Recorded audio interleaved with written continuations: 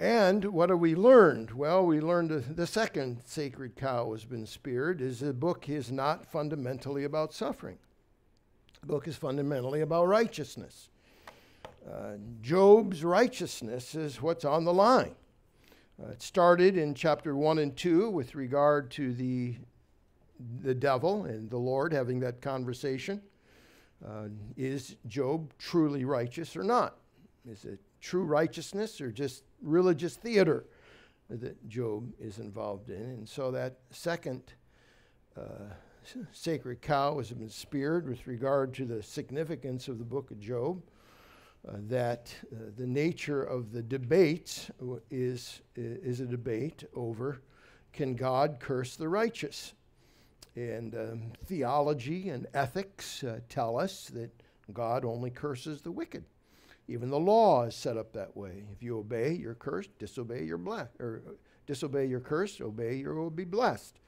And God has mercy in the midst of it all. But uh, Job is arguing that uh, he's not looking for mercy. He doesn't need mercy.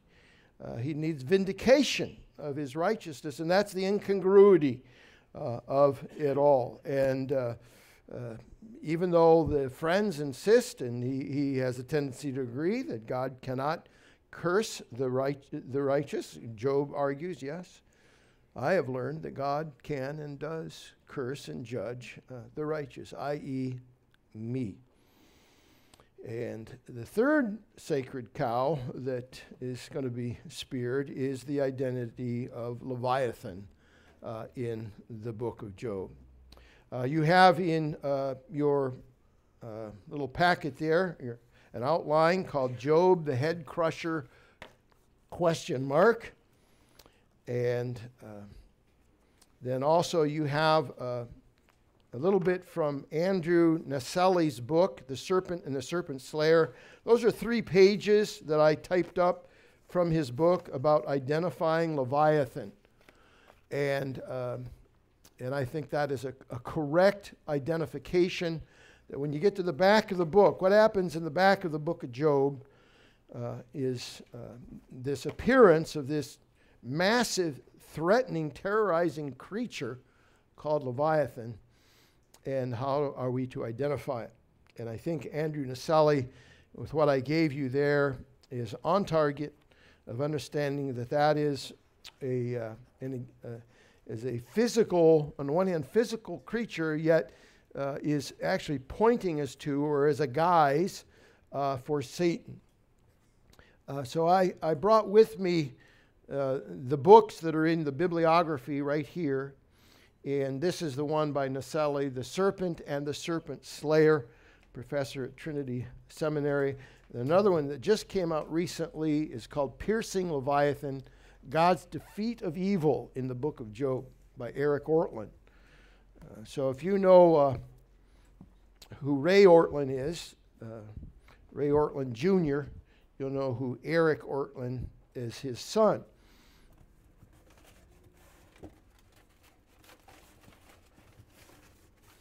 Well, Ray Ortlund has another son named Dane Ortlund uh, who wrote a little book called Gentle and Lowly The Heart of Christ for Sinners and Sufferers. I've got a few copies of it. Looks like I've got two left. So when, when we're done here today, if you make a promise to read it, like take an oath of self malediction, maybe. No, I'm, not going to be that severe about it. If you just uh, promise to read it, you can have the book for free. I got two left. I've been handing them out. A, a very gospel oriented, edifying, rich piece, gentle and lowly, the heart of Christ for sinners and sufferers. Dane Ortlund, the brother of Eric Ortlund, who wrote Piercing Leviathan. So, anyway, got two left. Uh, those are from uh, Gary McDonald. I don't know if you know who Gary McDonald is, but he's a developer in North Fresno, and he gave me 60 copies, and I've been handing them out over the past year, and I got two left to hand up. So.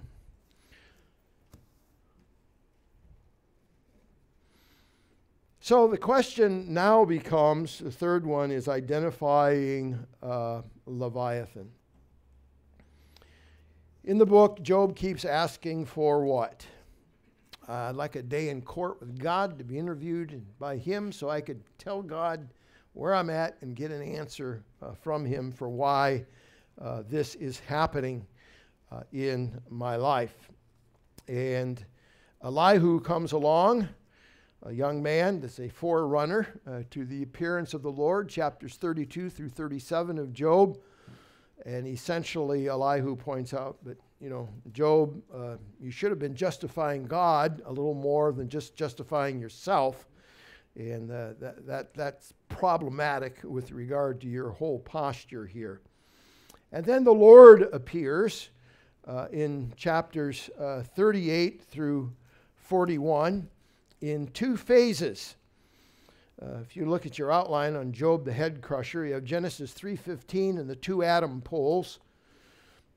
Is everybody familiar with Genesis 3:15? That's after Adam and Eve sinned. God made a promise. He said that the seed of the woman uh, would crush with his heel this, the head of the seed of the serpent, or, or, or, I'm sorry, would crush the head of the serpent.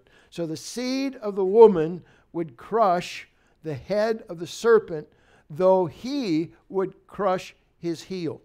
So you see, the, what's the mental picture you have? That's an, that's an ancient Near Eastern mental picture of a king's foot coming down on the head of his enemy, uh, showing his defeat of him.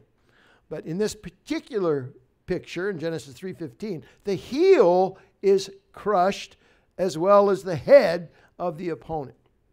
And so you have that uh, promise that evil would be defeated uh, as particularly embodied in the serpent who is Satan.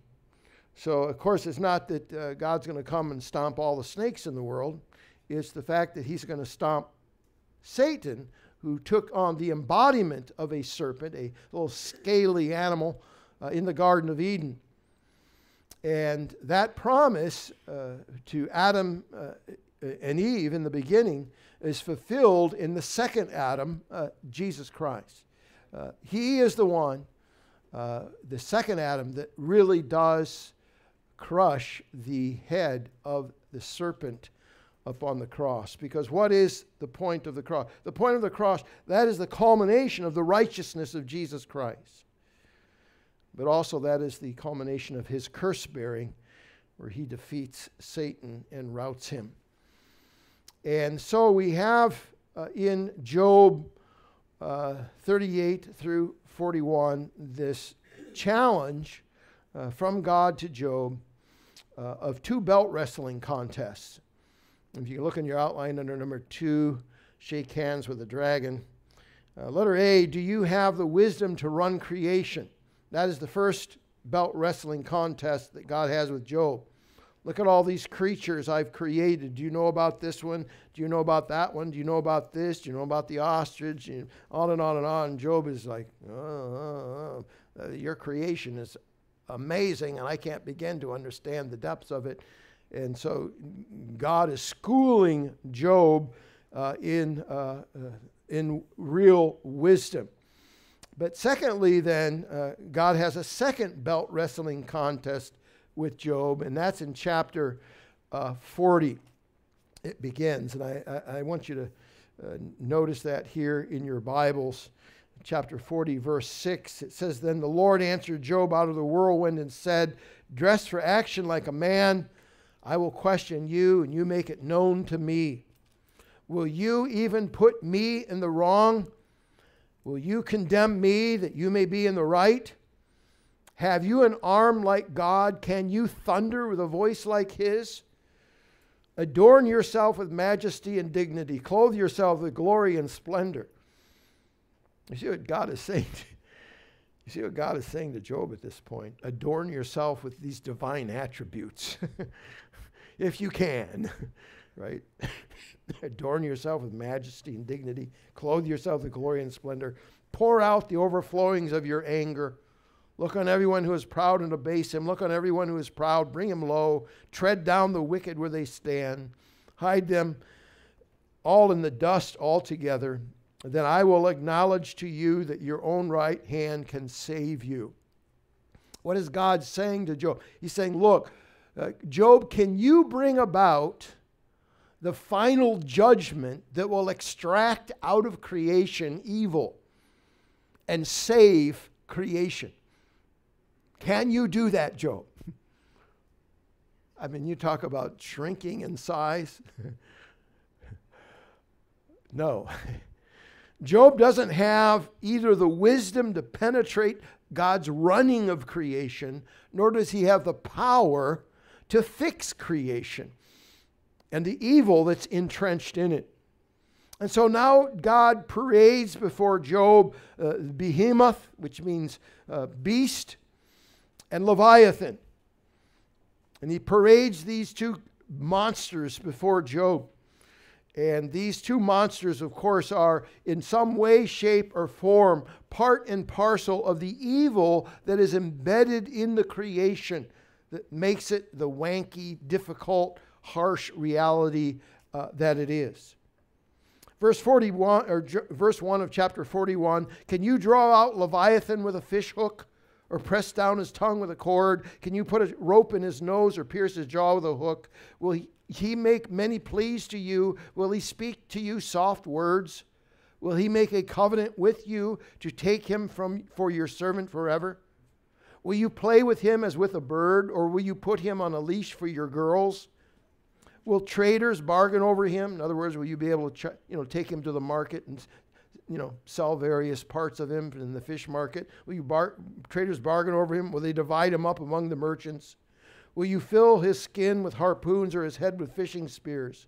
Lay your hands on him. Remember the battle. You'll not do it again. Behold, the hope of a man is false. He's laid low even at the sight of him. No one is so fierce that he dares stir him up. Who then is he who can stand before me? Who has first given to me that I should repay him? Whatever is under the whole heaven is mine. I will not keep silence concerning his limbs or his mighty strength or his goodly frame. Who can strip off his outer garment? Who would come near him with a bridle? Who can open the doors of his face? Around his teeth is terror. His back is made of rows of shields, shut up closely as with a, a seal. So, so, in other words, he's a big, scaly monster. One is so near to another that no air can come between them. That is, between the various shields that are, that are obviously plated one over the other. Can't get anything through them. They're, they're joined one to another. They clasp each other, cannot be separated. His sneezings flash forth light. His eyes are like the eyelids of the dawn. Verse 19, if you're following along in your Bibles. Out of his mouth go flaming torches. Sparks of fire leap forth. Out of his nostrils come forth smoke, as from a boiling pot and burning rushes. His breath kindles coals, and a flame comes forth from his mouth. What is the description of this awesome, terrorizing creature that is being portrayed for us in Job?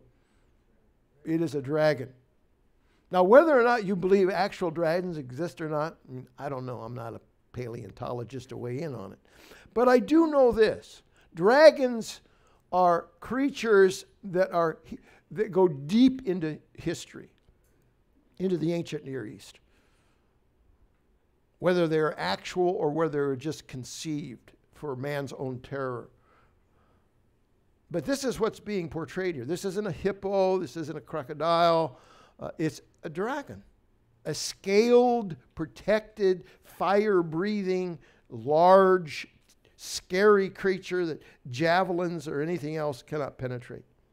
In his neck abides strength. Terror dances before him. The folds of his flesh stick together, firmly cast on him and immovable. His heart is hard as a stone, hard as the lower millstone, hard hearted. When he raises himself up, the mighty are afraid. That seems to indicate that angels themselves are terrorized by him at the crashing there beside themselves. Though the sword reaches him, it does not avail the spear, the dart, the javelin. He counts iron as straw, bronze as rotten wood. The arrow cannot make him flee, for him sling stones are turned to stubble, clubs are counted as stubble. He laughs at the rattle of javelins.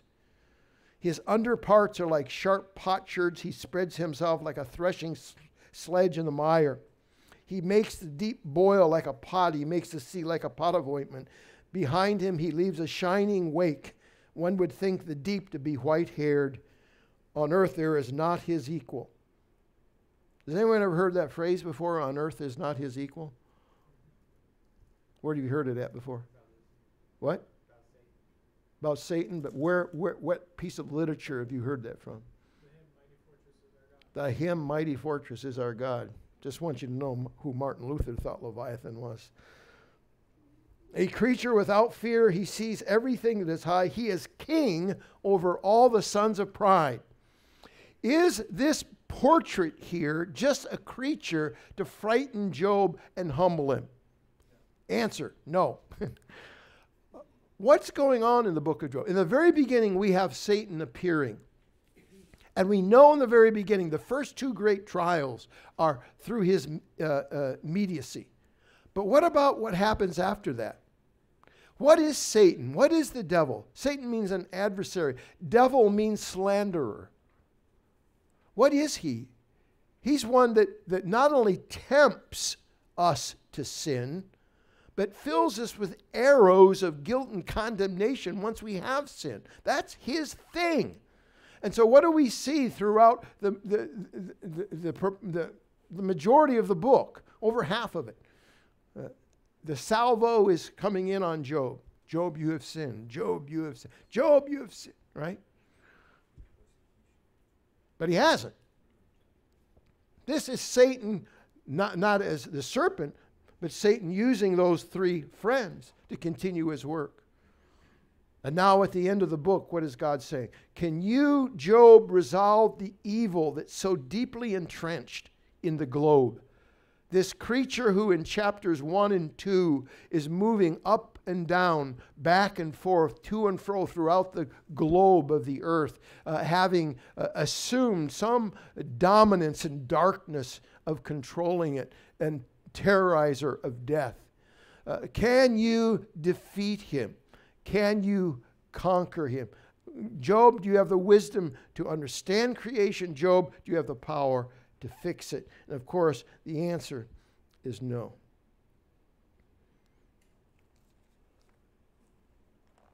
Now, there's several other biblical reasons why we should identify that Leviathan is a reference, whether it's an actual physical creature or just a, a, a, a creature of man's imagination and literature, uh, that in some ways is, you know, can be seen at least in part in a crocodile and whatnot. Um, as there are other passages that would tend to clue us in that Leviathan is to be identified with Satan. And I have three references uh, throughout Scripture. I just want to look at them quickly, uh, and hopefully you'll be adequately convinced that th- this is who is being uh, uh, brought to the fore uh, in the book of Job at the end, uh, questioning Job, can you defeat this creature? Psalm 74, verses 12 through 14. Yet God, my King, is from of old, working salvation in the midst of the earth. You divided the sea by your might. You broke the heads of the sea monsters on the waters. You crushed the heads of Leviathan. You gave him as food for creatures of the wilderness. There seems to indicate that God's victory is over some scary uh, creatures that exceed mere uh, physicality. Then Isaiah chapter 27 becomes a real tell all of this question, Isaiah 27 1. In that day, the Lord with his hard and great and strong sword will punish Leviathan, the fleeing serpent, Leviathan, the twisting serpent. He will slay the dragon that is in the sea. So there we see Isaiah identifying as the same the serpent and the dragon. The, the one in its smaller form, as in the garden, the one in its growing global historical form as the dragon exercising global uh, dominion uh, in the book of Job. And then Revelation chapter 12, verses 7 through 9. Now war arose in heaven, Michael and his angels fighting against the dragon, and the dragon and his angels fought back, but he was defeated, and there was no longer any place for them in heaven, and the great dragon was thrown down that ancient serpent who is called the devil and Satan, the deceiver of the whole world, he was thrown down to the earth. It says, And I heard a loud voice in heaven, now the salvation, the power, and the kingdom of our Lord and the authority of his Christ have come, for the accuser of our brothers has been thrown down, who accuses them day and night before our God, and they have conquered him by the blood of the Lamb, by the word of their testimony, for they love not their lives, even unto death. Well, there's more here um, in that sheet, as you can see. And I also provided for you uh, some direct quotes from Andrew Naselli's book, The Serpent and the Serpent Slayer, uh, with regard to identifying at the end of the book uh, this guise of Satan under Leviathan, uh, which is present not, not just in the beginning of the book, but Satan's activity runs throughout the entirety of the book of Job. And what is the book of Job about?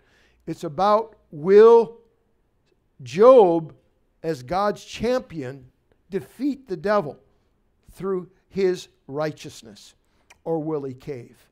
And that becomes the question of the book. Will he hold on uh, to his righteousness and be the victor? Or will he come forth and say, No, I have sinned? And thus fall under the Satan's power.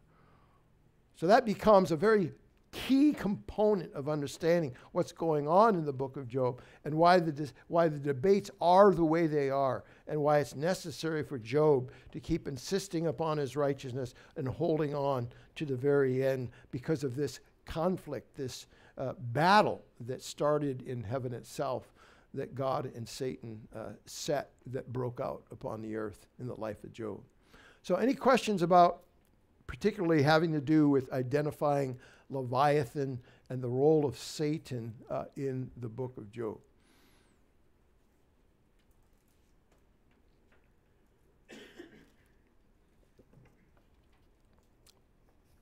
I think a lot of people have tried to identify Behemoth and Leviathan as just mere physical creatures, terrifying in their own right, but just merely physical.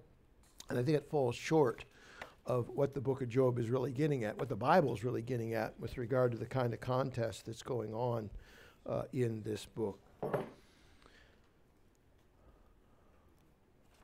Let's come to our final culminating presentation at the end Dragon Slayer, the saga of Job's wisdom quest and foretelling of the Christ.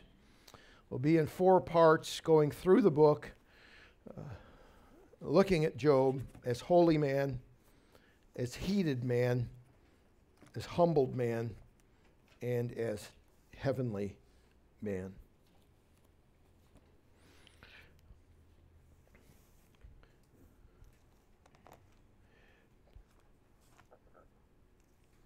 I'd like to begin by reading chapter 28 of the book of Job. As we've seen before, the 28 is the center of the book because the book is a wisdom quest. It is a, is a wisdom book. Uh, and chapter 28 becomes kind of its, its center point, uh, anchoring uh, what this quest is about. So I uh, like to read chapter 28 at this time. Surely there is a mine for silver and a place for gold that they refine.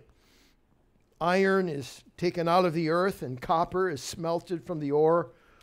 Man puts an end to darkness and searches out to the farthest limit the ore in gloom and deep darkness. So, how's it opening up? What men do, men search for valuable minerals uh, in the dark depths uh, of the earth's surface. He opens shafts in a valley away from where anyone lives. They are forgotten by travelers. They hang in the air, far away from mankind. They swing to and fro. So you see the idea a shaft being opened down into the earth, lowering a guy down on a rope. He's swinging back and forth as he's lowered down. Why? Why, why do they go to such uh, enormous and dangerous efforts uh, to find uh, gold and copper and iron and all these things? Well, because they're great, they're very valuable and they're, they're willing to go to these extents and limits and risks to find them.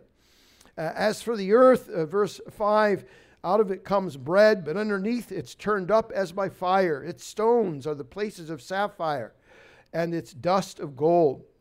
That path no bird of prey knows, and the falcon's eye has not seen it, because they're flying around up here, not in the earth. The proud beasts have not trodden it, the lion has not passed over it. Man puts his hand to the flinty rock and overturns mountains by the roots. He cuts out channels in the rocks. His eye sees every precious thing. He dams up the streams so that they do not trickle, and the thing that is hidden he brings out to light. Now, look, this is way back uh, thousands of years ago. They'd stop up a stream back then, allow it to dry out, and then they'd search for what? That was, that was called panning for gold in the ancient Near East, is what that was.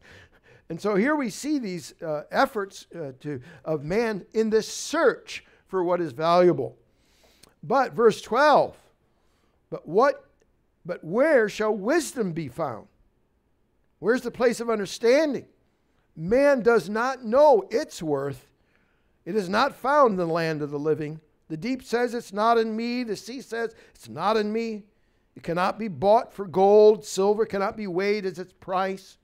It cannot be valued in the gold of Ophir, in precious onyx or sapphire. Gold and glass cannot equal it, nor can it be exchanged for jewels of fine gold.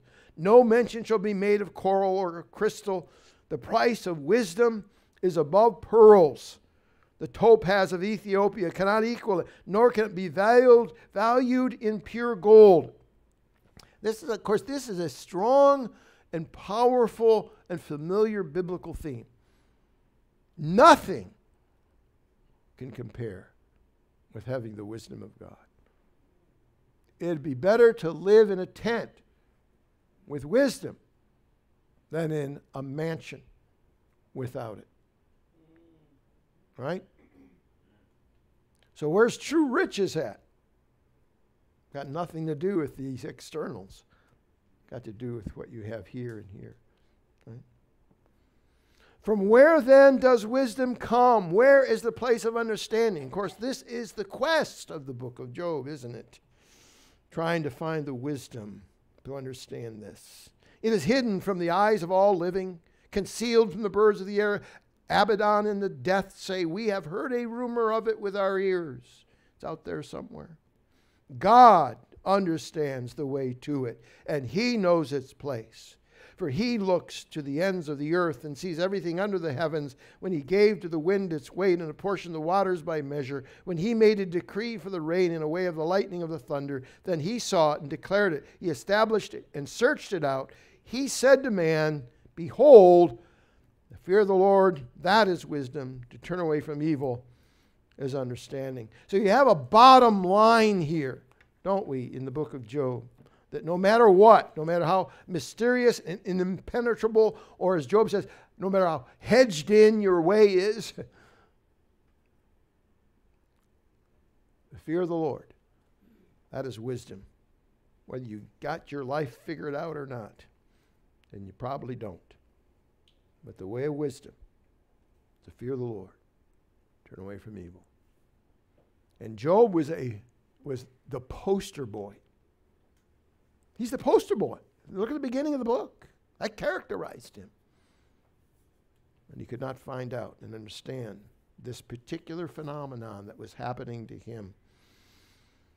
Chapter 31, we read about the, about, uh, the 14 oaths of self malediction that Job takes.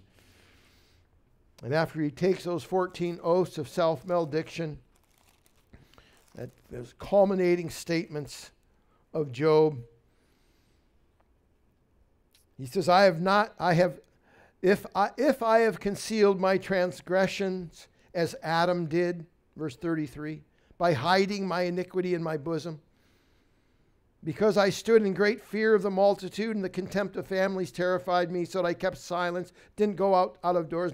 I was afraid because I had sinned. I wouldn't even go outdoors because I was so nervous that people would look at me and know indeed I've done something wrong. No, no, if, if that's true, then may I be cursed.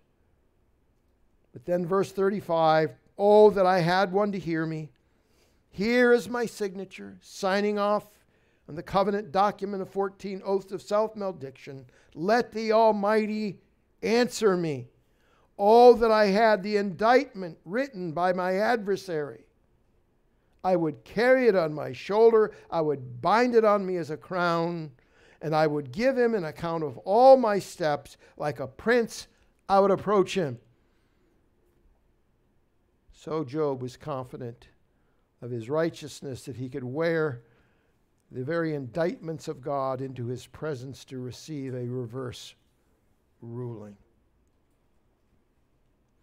And so we see that the book of Job is not fundamentally about you. It's not a manual for suffering. I don't know how many times I've heard the book of Job is a manual for suffering. Well, all I have to say is okay, if it's a manual for suffering, are you're ready to take 14 oaths of self malediction to your own righteousness and integrity? Because that's what Job did. I'm not. I'm, I'm running the exact opposite way. no, the book is about Christ. As we saw in its beginning and ending, as Jesus says, the Old Testament is about Him and His suffering and His glory. The book begins with suffering and ends with glory. We move into the B section, God's Job's complaint, and then God's appearing and answering his complaint, using 60 plus of Job's own words to rearrange them and answer him as, as the sovereign God of wisdom and power. Letter C section, we move in even closer to the center. We have the friends dialogue with Job, and then we have Job and Elihu's monologue that match up in the C section. And then the B, where is wisdom to be found? What wisdom can explain the epical shift in Job's life? That's the earthly question. But there's a heavenly question that precedes the earthly question. Remember? It was God and Satan. Is Job righteous truly? Or is Job just involved in religious theater? Is Job righteous or not? And that brings on the trial by ordeal in his life, which is what the book of Job is about the test of true righteousness and will it endure. And so, first of all, we have the holy man, Job. Job is located between the two Adams. The first Adam was tried and tested for righteousness by the devil. The second Adam, Jesus Christ, was tried and tested for his righteousness by the devil. And now in between here stands Job, between these two poles as a, as a holy man, a man who's received God's approval in the very beginning and is subject to testing set before the craft and power of Satan. His holiness is affirmed by the text, as we very opening verse, two verses of Job uh, say, but it's also backed by God in heaven. Have you seen my servant Job? There's none like him. Singular, standing out like a big light, like a big sore thumb in your dark domain, Satan. What do you think of him? Boy, there's some real baiting going on. And so, this heavenly dispute, God takes the lead on it. God is leading Satan along. He's engaging Satan. Hey, you, uh, where you come from? Oh, going up and to and backward and forward on the earth. It's my territory now. God says, Oh, and that's something. Oh, did you notice, by the way, there's a little incongruity over there in the land of Uz? Job? A little shining light over there. It Didn't quite make sense, does it? Belonging in your great kingdom that you're ruling over down there. He's leading them right along, just like Luther said. The devil is the Lord's devil. And he takes the bait. Well, you've hedged him in, in with blessing. No wonder, no wonder uh, he's giving you uh, such a favorable review in his life. You've given him a five star mansion, and all he has to do is pay a little studio rent of offering a few sacrifices and nodding your way and mumbling a few prayers. No wonder. But does God, does he love God for no reason? Does he? Does he love God for no reason? Does he serve you for no reason? He serves you for yourself. St. Augustine said that God created man to love God and use things. But man has been perverted, so he uses he, he loves things and uses God. And that's the debate between God and Satan about Job. Which is he? Does he use God and love things, or does he love things and use God? Well, God says, well, look, he's the real deal. He's the real McCoy. He's righteous, truly. Satan says, no, he isn't. I know he's born of a woman. I know what he's really made of. He's a hypocrite. Just religious theater, that's all. Torch that life a little bit, melt that wax, and the real deal will come shining right out, and we'll identify him for who he is. So God says, let's have at it. So there's fire that's introduced to test the metal of what? Is Job truly righteous? The question of the book from heaven. Does he fear God and turn away from evil? And you might say there's a secondary point going on there. Is saving grace in the life of a sinner that powerful? Is it more powerful than Adam in the garden? the answer to that is yes. And that brings us to the second one, the heated man.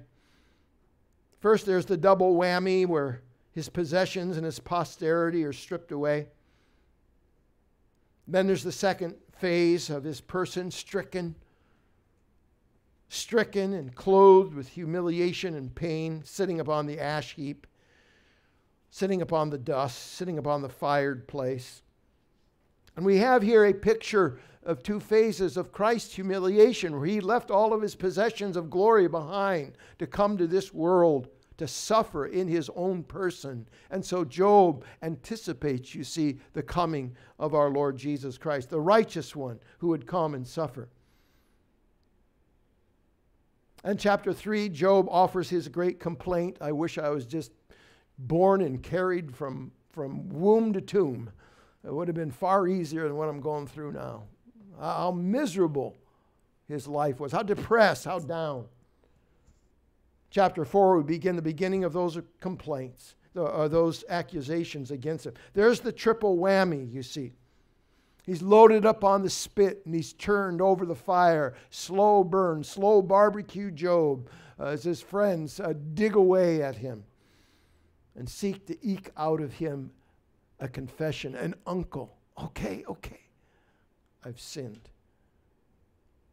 And his integrity would finally crack. Throughout chapters 4 through 25, the final words that Bildad sputters out in desperation, which we already read, Job's piety is under attack. If he confesses sin, who wins? The devil. I was right all along. Just needed to bring it out. His friends and Job agree on certain issues. They agree that God is sovereign over good and evil in the world. They agree, and the, the ancients affirm it, that, that God blesses uh, those who honor the Lord and obey Him, and the wicked God curses. They agree on that. And they also agree that God has turned his back on Job, that God is judging him, God is cursing him, and it doesn't make any sense. But what Job disagrees on as he debates his three friends is does he need to seek mercy for his sins? And Job says, No. What I need is vindication for my righteousness. What I need is an explanation from God of why this is going on at all. Yeah, I believe it. I believe he, he, he, he wounds and he heals. That's the kind of God he is. Job agrees with it. But I don't need to be wounded. I don't need correction. I don't need rebuke. I need vindication because I've not sinned. And yet, God, Job says, God contends with me anyway. And the point of contention can be summed up simply as this the free friend says, Look, God cannot curse an innocent man. He won't curse a righteous man. Job says, Oh, yes, he will. He's cursed me. Why do these three friends react so strongly to Job in the narrative as we read about it? It's because Job is overthrowing original sin and total depravity. His doctrine of man is defunct. It's crazy. And Job lacks the fear of God for his holy justice by suggesting, by suggesting that God would condemn a righteous man. His, his, doctrine of man is screwed up. His doctrine of God is screwed up. Job, you're, no wonder God is treating you the way he's treating you. What's the solution to all this? What's the wisdom that will apply to bring a resolution to what Job is facing? You know, it's obvious what the friends say. Look, Job, we've always admired you. You know, you've you've helped out a lot of people in your day and you've cared for them. You, your words have strengthened the weak and many complimentary things they could say, but you're still defective, man. Even at the very end, as Bildad sputters out his final words, it's like he's begging him, Look, Job, God is so holy, the angels, uh, you know, don't even to take a direct look at him. How much more you, a corrupt worm and maggot that you are, born of a woman, a sinner? Look, Job, I, we want to make it easy for you. Just say, Uncle. It'll all turn, the sun will shine again, Job. And what is Job's response to all of this? Biting sarcasm. I'm not going to lie for you and trumpet some phony confession to satisfy your theological assessment and wisdom. I'm righteous yet I'm suffering the lot of the wicked. And the incongruity has an explanation that only God knows. I wish He would explain it. And so in chapter 28, we see this little soliloquy, it's right in the middle of the book. Where is wisdom to be found? How do we unravel this?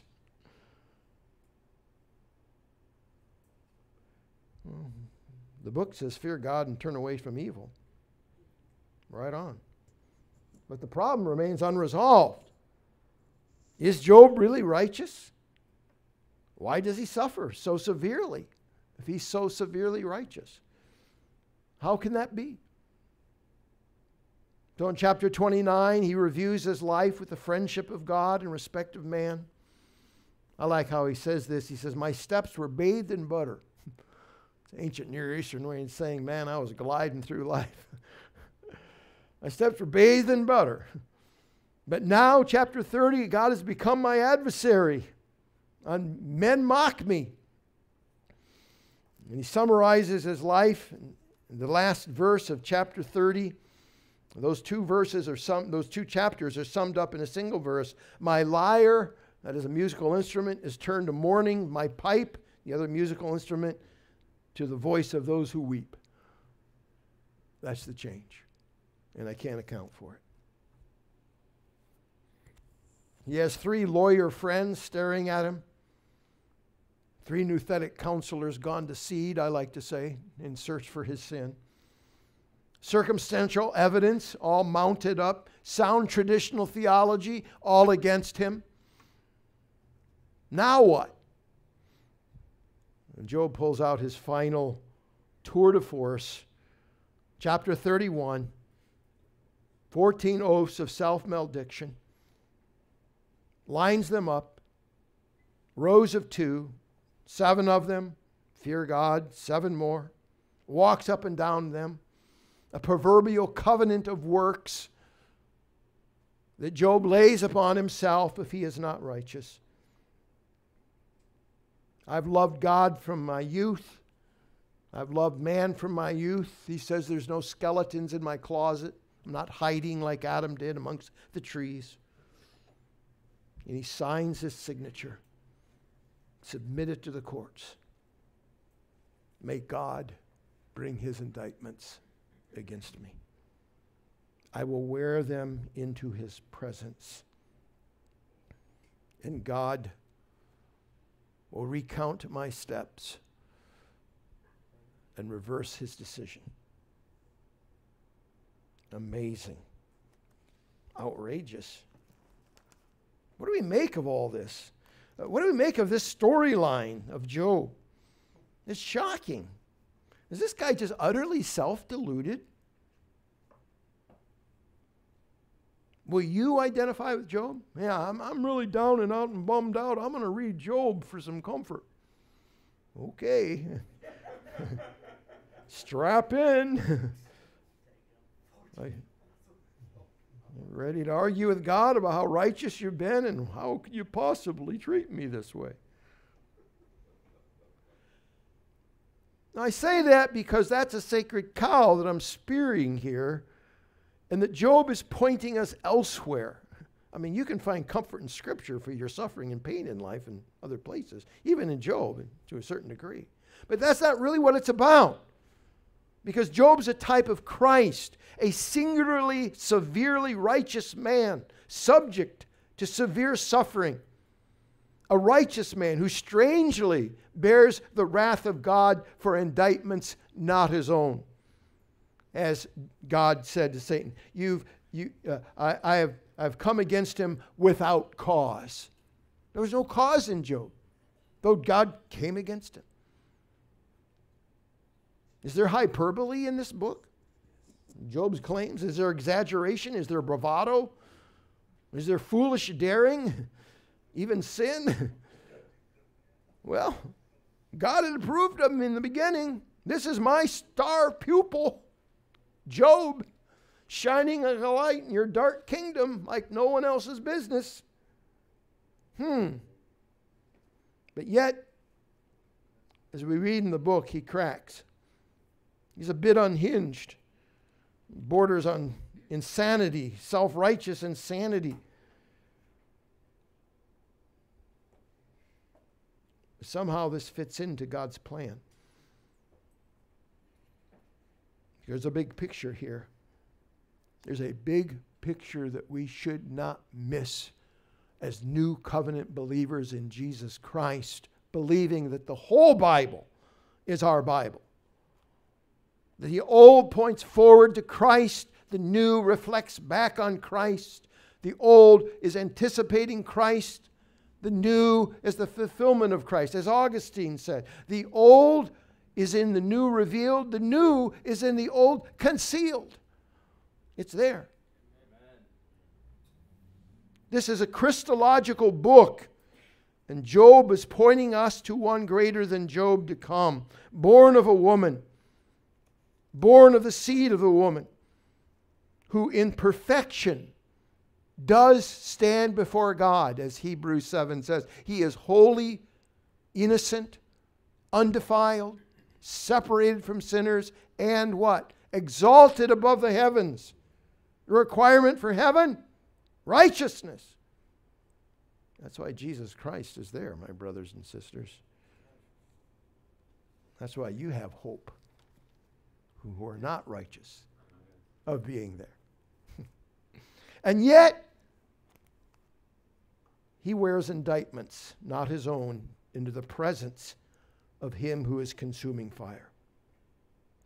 A turban of thorns on his brow, written decrees against him, Colossians 2:15, confident that he will emerge vindicated the written indictments that he wears are burned up in fiery judgment. And yet it is his righteousness that will certainly prevail. God's justice will be satisfied. God will reverse the verdict upon the Lord Jesus Christ and vindicate him. Because righteousness merits resurrection glory. Righteousness defeats the devil.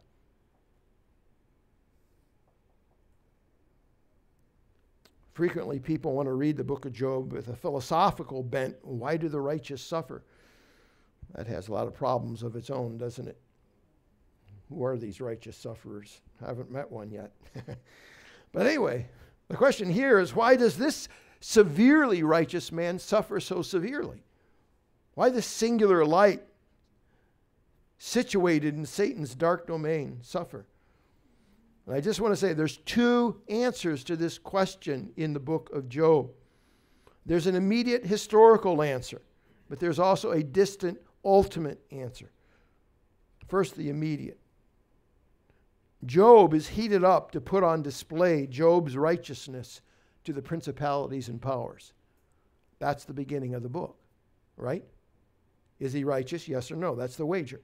So the flame fires high and hot, and the gold in Job is revealed and confirmed as pure. He is God's champion. Job defeats the devil, and God defeats the devil in Job. But the second, the greater one, is the, is the redemptive one that points to the future in Jesus Christ. A ball is seen here in play in the courts of the Old Testament wisdom literature. A ball that rolls from Genesis 3:15 that the heel of the woman would crush the head of the serpent. It's rolling. It will not stop until it stops at the foot of the cross. But on this rolling ball, as it passes through the book of Job, headed toward the gospel accounts, it's engraved with a tiny inscription upon that ball Head Crusher. It rolls through the biblical canon and it stops to refuel here at the book of Job, heralding one who is greater than Job.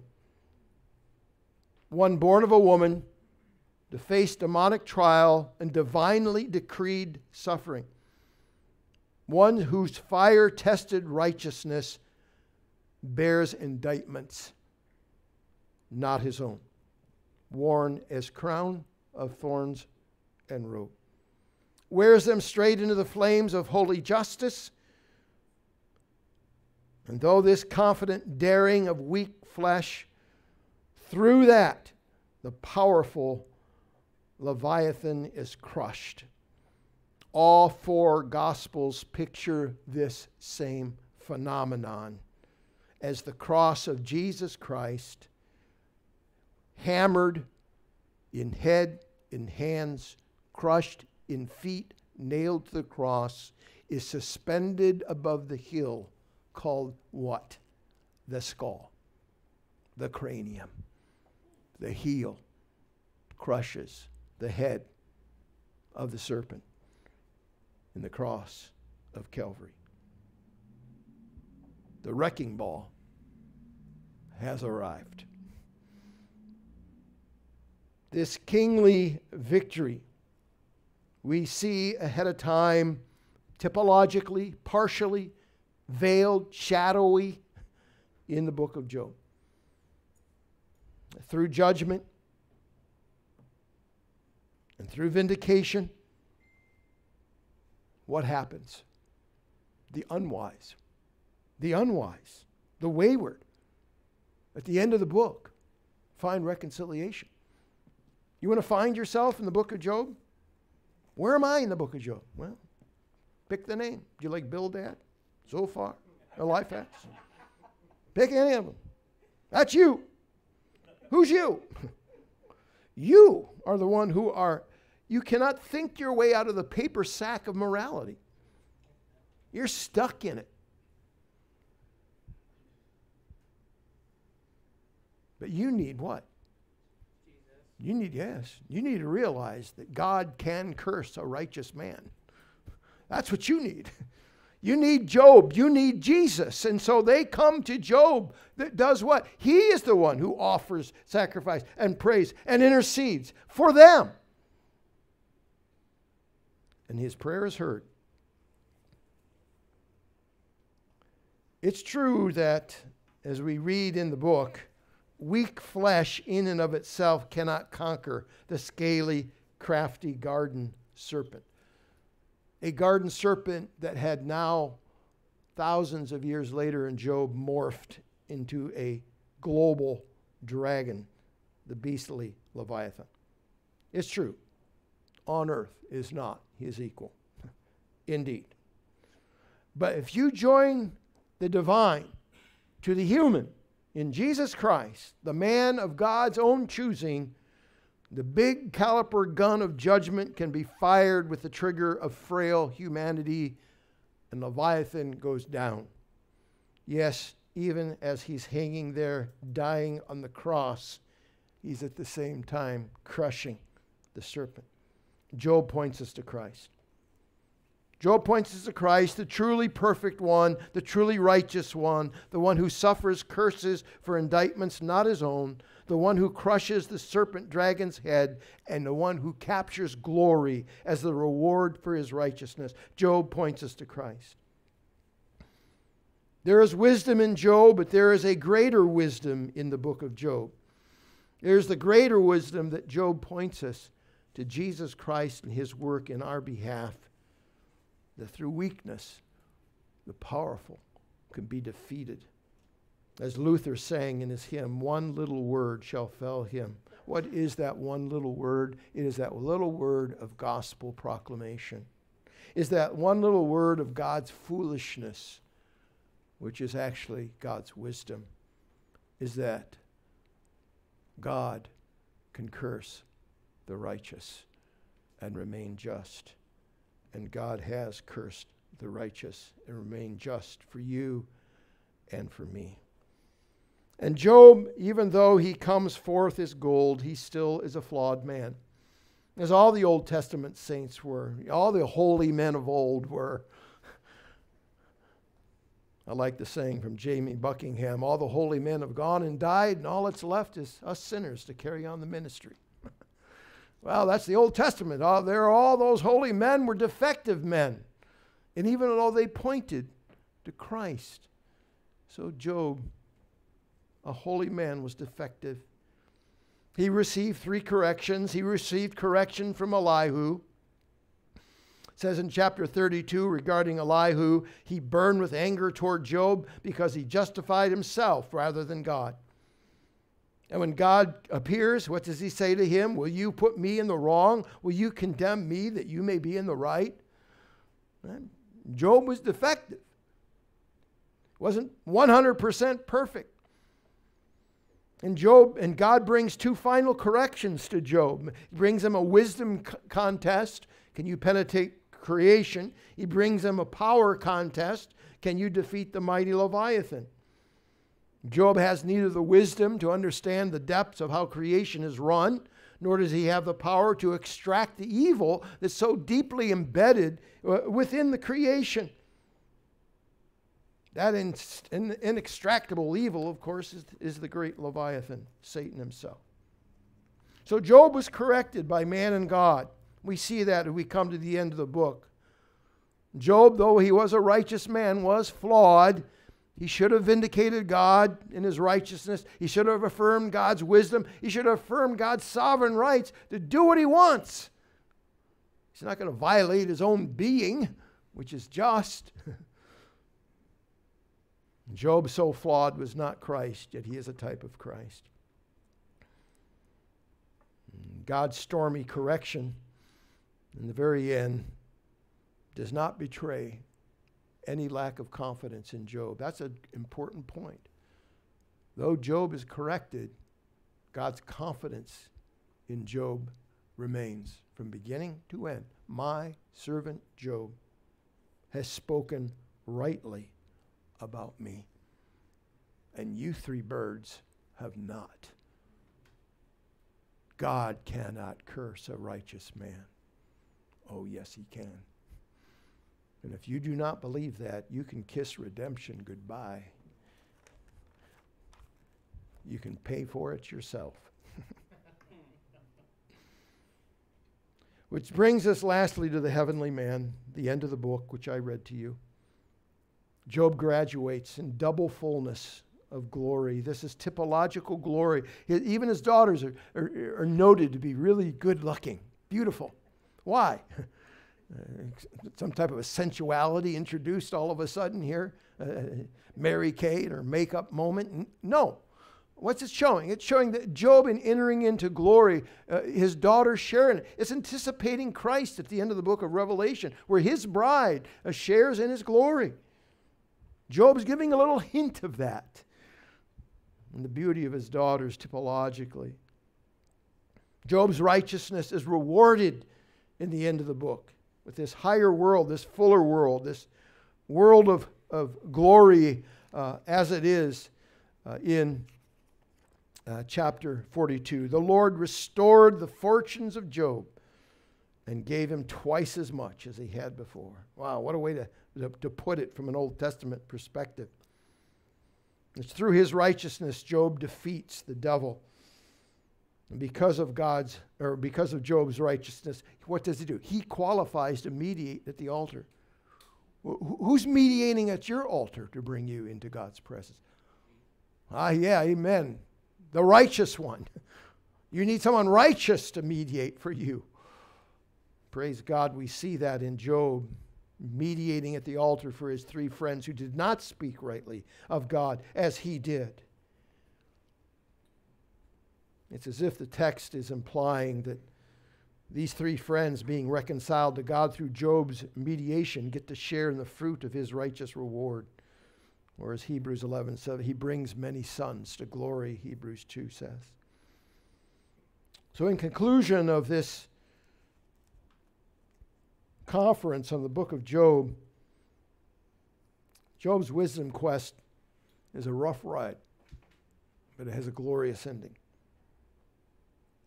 So, where is wisdom to be found to explain how a righteous man can be assigned with the wicked?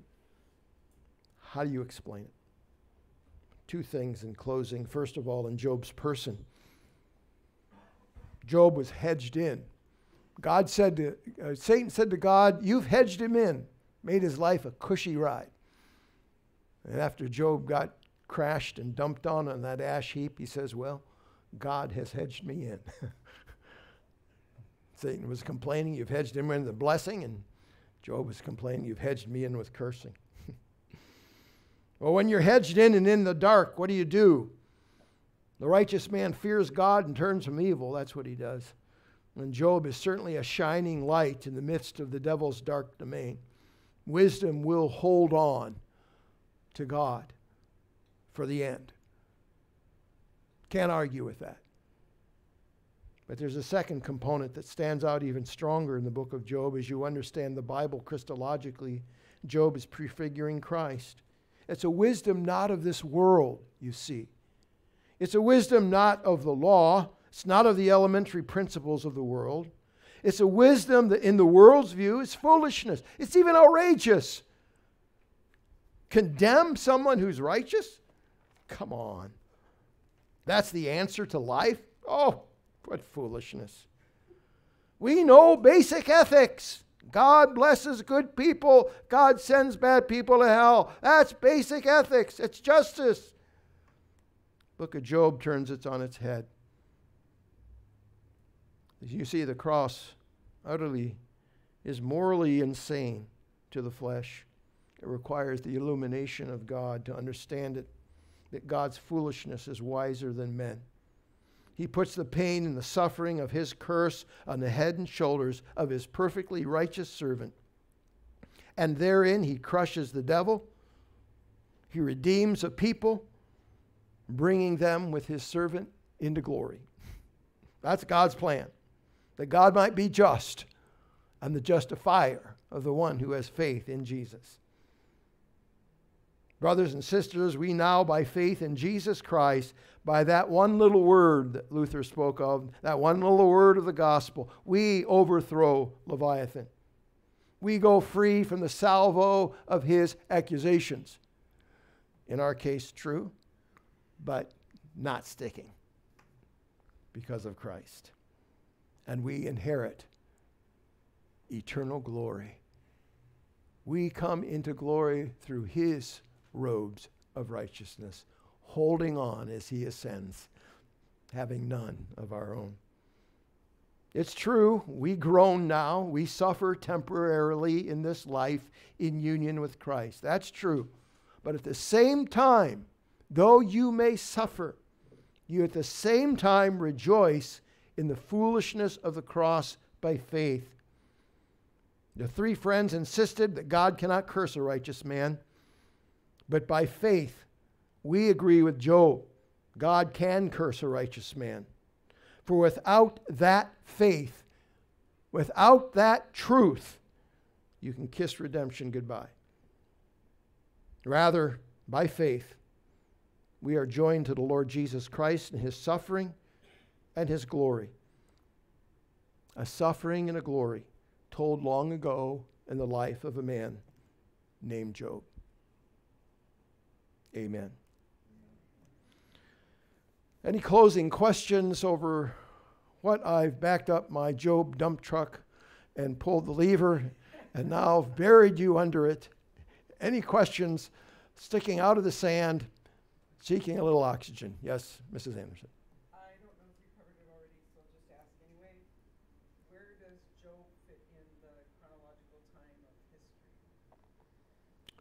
Well, uh, mean mean as as a personage, or do you mean as a literary piece? Uh, as a person, where would he fit Yeah. Um, yeah. I, m- most people want to put him uh, somewhere within in, in a in the uh, maybe a post patriarchal setting.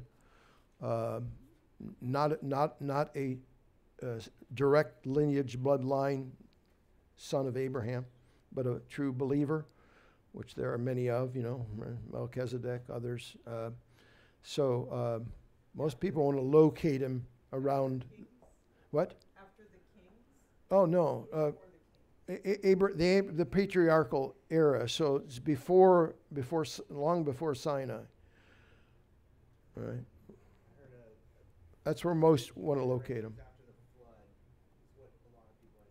Yeah.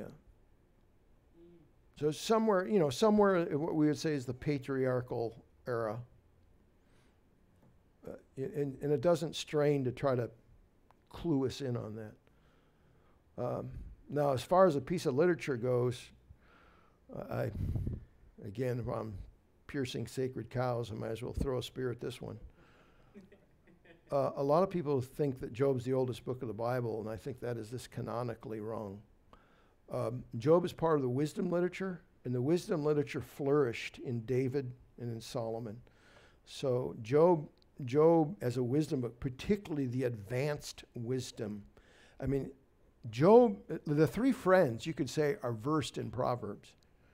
I mean, if, if you if you see their arguments and see what they're saying, you look at the book of Proverbs, hey, sounds pretty good, makes sense. And Job says, I don't have any argument with you, right? So it, it, it's really an advancement beyond a step beyond the basic wisdom literature of the Old Testament. So uh, I would say it's part of the flourishing of the wisdom literature that came from uh, the uh, Davidic and Solomonic kingdom eras, where the, the, theocratic kingdom was so richly blessed.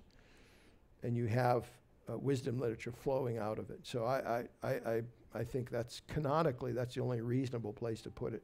I think trying to locate it as the oldest book that somehow wandered into the canon is really a, kind of a strange theory, actually. But anyway, that not shooting the fourth sacred cow, I guess. Michael. Oh, yeah, yeah. I know our, uh, or, about you know how this pictures, you know, uh, uh, Joel pictures Yismar, you know, and so so basically when we talk about like where where you know it seems like to me like so you would say that so first off you would say that if we were to speak of chronologically first we're speaking of the person that he that he's like a contemporary of of like uh, of like a- Abram, Isaac, Jacob. no, no, n- somewhere between Noah and Jacob, I would yeah, probably, yeah, yeah, yeah, there. yeah. That, uh, and you would say, would you say it would come from like some? Because I know that Solomon was known as the wisest man that ever lived on on earth. You know, yet he had like when so you would say it came from like uh, one of the latest stages of Solomon and his wisdom from the literary standpoint. Yeah. Uh huh. Yeah. Yeah, I think that's in terms of canonical studies Yeah. of understanding how the canon is put together. Yeah. Yeah, I think you, I think that th- th- it all points that way. Yes. Hey, someone else had their hand up. John. Um, you know, lis- listening, I learned so much from you, and I'm sure everybody's got learned stuff today. But one of the things um, I'm struggling with a little bit is, if I was one of those three guys, I'd be telling Job the same thing. I- You know- you know what So would I. That's why Job affirms it. He doesn't. He doesn't disagree essentially with what they're saying. He does. He, he affirms it. Hey, I, I, I know this. Am I, am I inferior to you? This is received traditional stuff. But what's distinctive about it? Job said, I'm not, the reason I'm not buying it is not because I disagree with it, is because it doesn't apply to me. Yeah. someone told, if I told you that, wouldn't you say, John, you know what I'm saying? So If you told me that, I told you, Pastor Dave, it's, I would be down in the dust. I'd be thinking, oh, there's no doubt I've sinned in some way. And just, no, but, no, but, but see, these guys all know him, and, and I, I'm just saying that for me, it's like, wow, Job has to been like a special person to be able to, yeah, okay, that's it. right on. Who was pointed out in Satan's kingdom as being special? One person. why? Why? Why? Why why is it? Why does it have the shape it has? You- the only way you can explain it, in my humble estimation, is because it's pointing to Christ, the true wisdom, the true righteousness, wisdom of God. Yeah. Yeah. Exactly. Yeah, Jesus. I mean, you know, look, uh, holy men, all right? There, there are many holy men throughout the Old Testament. Isaiah is a holy man. Ezekiel is a holy man. Daniel is a holy man. Uh, uh, Abraham, I mean, the Jews have always considered Abraham their epitome, their poster boy of a holy man. I mean, all right, we have these holy men, but we know that though they were holy men, in a relative sense, they were defective. And we also know that the doctrines of original sin, total depravity are true. And at the end of the day, though, Ja- though, though Job may be like James 1, perfect and complete, lacking in nothing. What's, what's James talking about? He's talking about a level of profound maturity, right? Uh, you know, the Bible talks about uh, uh, Elizabeth and Zechariah walking in all the commandments of God. Uh, wow, these actually angels embodied in flesh. It, it's a manner of speaking, right, that is true, yet maybe a little, you know, saying a little bit more than what could possibly be said reasonably. And I think with regard to Job, here's a godly man, and the language is pregnant, right? The language is pregnant. Why? Because God wants to mislead us and make us think, oh, there was one person that never sinned other than Jesus. No, the language is pregnant for a reason. It's God's reason. It's pointing us to Jesus. And it's pointing us to what? This supreme, supreme issue of righteousness. Righteousness is what we need. If you're going to go to heaven, you got to have righteousness, man. Well, where, where do I get it? Amen. There's only one place to get it. That's why it's by faith alone, in Christ alone, by grace alone. That's why. I mean, and, and Job is just like opening that up to us and saying righteousness is very, very important. Otherwise, why would you spend over 21 chapters, over half the book of Job, committed to one question? Is he or is he not righteous? Why? Well, the only answer you can come up with is because he's anticipating Christ. He's a type of Christ. And he's a type of Christ in, in a very rich way, right? Yes, sir. What's that? Yeah, by faith in Christ. It's just, and the friends are kind of a picture of that. Wh- wh- Why do the friends get reconciled to God? Because Job, who spoke right, mediated at the altar for them. On what grounds is Job mediating at the altar? Because he's righteous. He's my servant. He passed the test. He's come out as gold.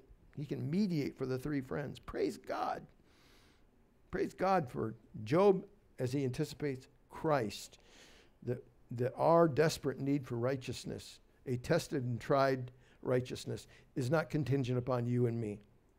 Because if I'm tested and tried, I don't care. I'm going to falter at some point. For some point, I'm going to cave. I might cave when the kids are taken away. I might cave when uh, uh, I'm sick and afflicted with disease. I might cave when my wife finally throws in the towel and says, "Pfft, I give, curse God and die. Uh, I might cave when my friends come around and start drilling me, and I'm and the comfort they came to bring me, you know, just tastes like poison, drop after drop. I might cave then. I'm going to cave though, I guarantee it, and so are you. I think. I think you agree. You're going to cave. I'm, all, I'm, I'm flesh. I'm sinful flesh. Okay.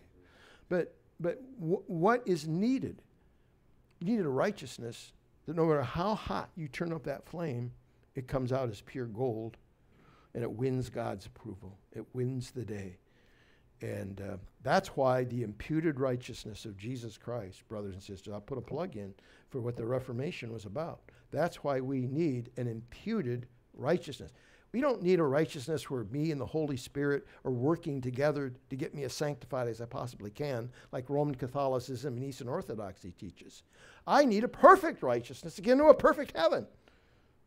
Where am I going to find that? One place. And that's why the Bible strains so much and hits so hard that theme. And that's why it's found in Jesus Christ alone. Book of Romans, right? And how does the book of Romans end?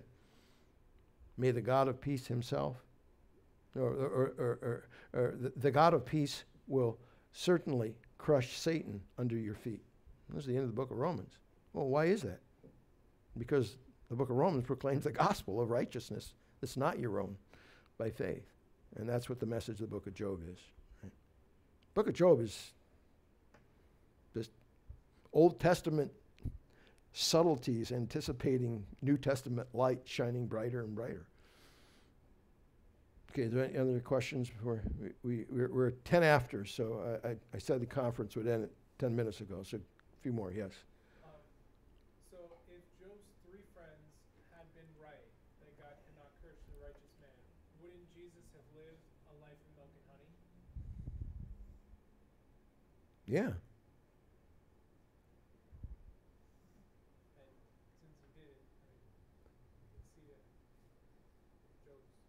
But the, and again, that's I mean that's that that's the difference between law and gospel, right? Law and gospel are fundamentally different principles. Uh, one says, "Do these things and you'll live." Right? That's that's that's law. What's gospel? Gospel says, "Just believe these things and you'll live." Law says, "Produce righteousness, you'll live." That was the message of the three friends. It was a sound message. wasn't defective. But the gospel says something else. The gospel says that law that requires righteousness is found in someone else, not in you. And that curse that de- deserves payment is resolved in someone else, not in you. So Augustus Toplady's song, not the labors of my hands can fulfill thy law's demands. Could my tears forever flow? Could my zeal no respite know? All for sin could not atone, right? So that's, that's, that's law gospel right there. And you see it right there in the, the friends in Job, law and gospel. Yeah. Okay. All right, I'm going to uh, say thank you for everybody who came. I hope that this was beneficial. My prayer to God is would glorify my God and my Savior Jesus Christ, but also serve to strengthen your faith in the truth of the gospel as you consider uh, the book of Job together. So let us conclude. Uh,